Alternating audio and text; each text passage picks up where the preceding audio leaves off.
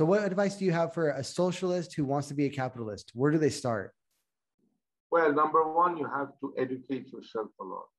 You know, read a lot about everything, about capitalism, about socialism. People don't read. People don't have time to read. People get on their cell phone and just look at a few things, browse things. There's no more reading. There's no more depth.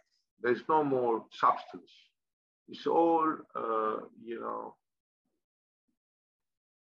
it's it's you know it comes and goes so fast. They, they don't they don't register things. It goes from one ear to the other. They watch these spots on TV and uh, they listen to politicians who are power hungry and have their own agenda. Get out of this whole atmosphere. Read a lot. Educate yourself a lot. One, two. That's step one. Step two. Find a few mentors who think like this, who have done it, who have succeeded, who, are, who have big brass fucking balls, who are making waves. Try to meet them. Try to connect with them. Try to, uh, you know, write them, meet them.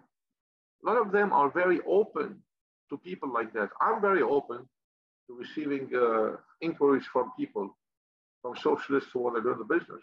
I'm, I mentor a lot of people, free. I, I don't charge on that. That's fine. And I'm sure a lot of people will do that. Two, three, find a passion.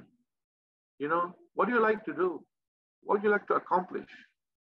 Other than having a paycheck, what do you like to accomplish? Find a passion. If you find a mentor and find a passion and get educated about it, you're going to go a long way. It's a long story, Justin, but that's the beginning. That's the beginning. This is the start.